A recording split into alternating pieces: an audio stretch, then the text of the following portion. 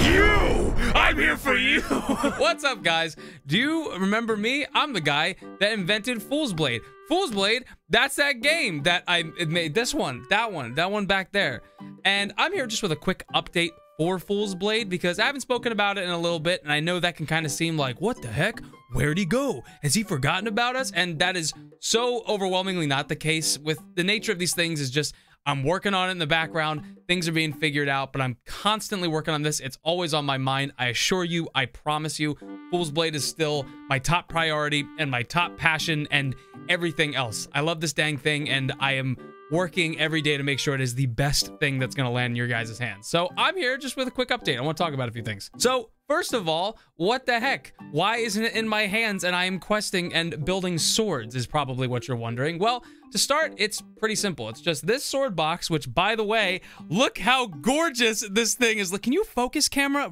Thank you, Jesus. We have it in such a good place now that I am just so genuinely proud of this. Oh, oh, the secret drawer? Oh, the secret, you wanna see the secret drawer? Oh, Oh, what's that?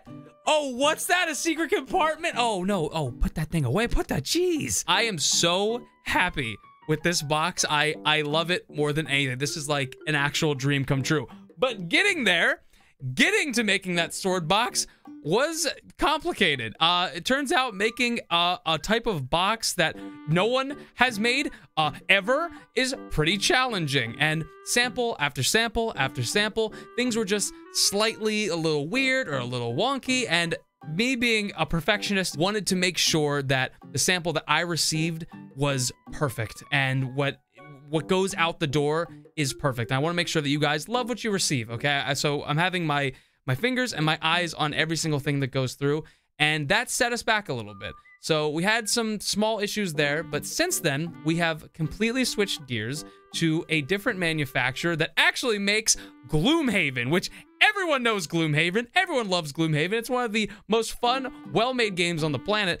And when we started getting this high quality stuff from them and this opportunity popped up, we, I mean, we felt so lucky. So I felt so lucky. It's incredible what they've been able to do. It has blown us away with how high quality is. But with how good it is and us shifting these gears a little bit, it is pushing back that shipping date a little bit, which I know, I know, it's a whole Kickstarter meme that no one lands their landing date.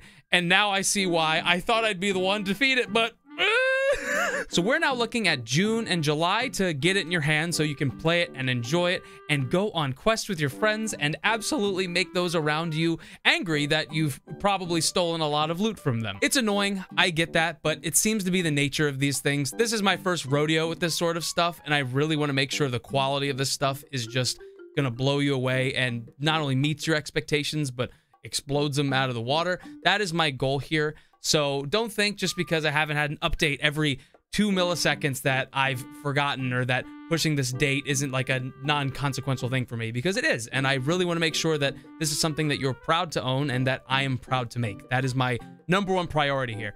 Now, I got some awesome news too. So we promised before that with the upgrades and the stretch goals that we hit on Kickstarter, that the dice wouldn't just be some simple like single color dice that you just get anywhere else, that they'd look cool and they'd be swirly and they'd have a custom sigil on the D20. Well, I'm happy to say that, oh, we weren't able to make the sigil just for the D20.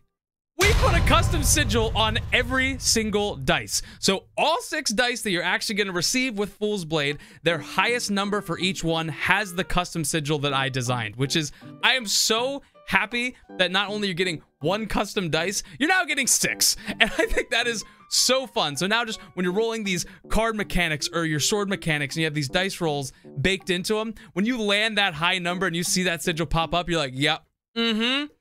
Mm-hmm. The cards are also looking outstanding. I am so happy with how high quality they are. Check these out. Check them out. This is the Goblin Boss Trio. Look at this. Look at this.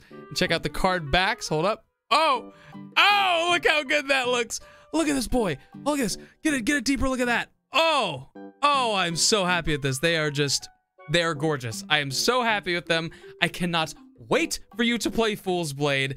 Uh, and I hope this update finds you well. I hope Traveler, I hope it finds you well, traveler. What am I? What am I, an NPC now? What am I, an Oblivion NPC? Thank you guys so much for your patience. It seriously means the world to me. This is my first step into game development, and I've learned quite a lot from the design space to the manufacturing to the logistics. It's a complicated puzzle, but I've got all the pieces now.